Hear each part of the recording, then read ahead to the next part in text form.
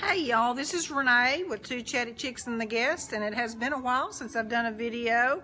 Uh, I know I've been telling y'all about Miss Lillian's products and how I was going to start demoing some of her uh, line, and right now I am working on, I'll turn this around so you can see. I am working on this frame. I painted it already with ruby red metallic and I wanted something to really make it look dramatic. So I am using her gel stain in the tobacco. And it's really easy to use if you really want that dramatic look. I absolutely love her gel stains. And I tend to use the tobacco more than I do any of them, but she's got some great colors. And all I do is use the chip brush to apply with and uh, this is one time that I usually suggest that you use a liberal amount of product because you're going to wipe it back and you're going to leave it darker in some areas. Okay, let me get around here on the other side.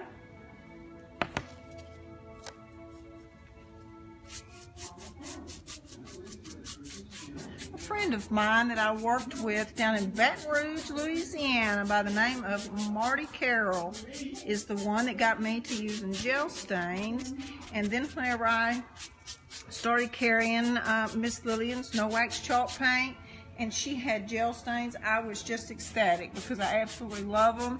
And uh, I have found that the students are a little afraid of it until they see how beautiful of a finish you can really get by using them and then they're hooked from then on. So they have used just about every color that she has. Uh, let's see, Sandy, one of my students, she used the antique white and she used the driftwood gray and it was absolutely gorgeous. Okay, I've got a good coat on that. And I really can't stress enough about the gel stains. Whenever you get through, you always want to keep a, I usually keep a bucket with a Walmart bag and I have water in it and that way I can throw the gauze and the brushes in the water because um, it's a gel stain and it's an oil base so it can be uh, combustible uh, in the heat so you want to make sure that you do not leave them um, just laying around piled up and as you can see, I use nothing but gauze on this process. And what I do is I unroll it and then I fold it. And I fold it to where it looks like this. Oh, I was gonna lay one out. I fold it in half and then I fold it again. So it's kind of like in four quarters. And I do that for a reason so that whenever one gets saturated, I can flip it and keep using it until it's completely all used up and you don't realize how hard this is to do one-handed and hold the camera and make sure everybody can see.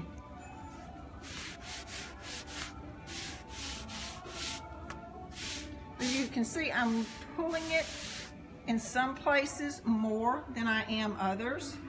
See here how I left it in the crevices there and whenever that dries it is absolutely going to be gorgeous. The main thing is just don't be afraid to use it Okay, this one is a little saturated.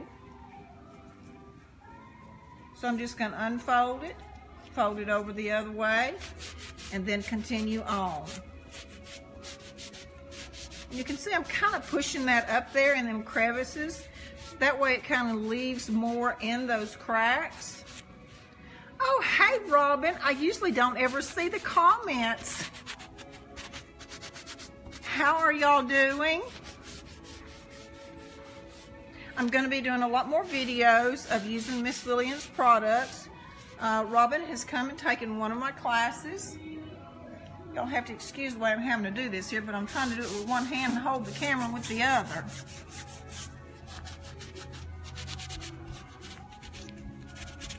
And she finished a very pretty table in class. She came to one of my Bring Your Own Pieces class. And you can just keep wiping back until you get it to the depth of the look that you're going for. As you can see, I have splattered paint everywhere whenever I was doing this and other finishes.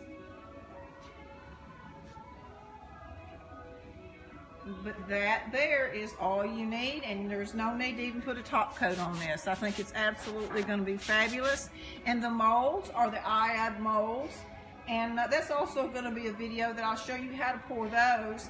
But now Marilyn, uh, Miss Lillian's carries uh, bendable molds. And whenever I was with her at the booth conference, I tried some of them several times and I really did like them. So I want to get with her and get some of those to try again and to show uh, in class and maybe do a video on those. So I hope y'all have enjoyed. Oh, I was going to show y'all. I'm trying to get my glove off. Here are a couple of cabinet finishes. This is Willow Dream, and then this is Tobacco Over it. It's hard to imagine the difference there is in those two looks once you put that gel stain on there. And this is Ruby Red Slipper, metallic, with the uh, gel stain tobacco over it. And this one is Watermark Silk, again, with the tobacco. And then this is just Ducky. And I think it's got uh, tobacco as well. Yes, I guess you can tell I like the tobacco gel stain.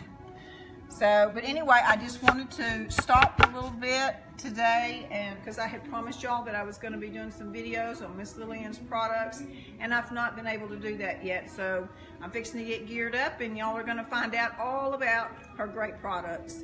Y'all have a blessed day and I will talk to y'all later.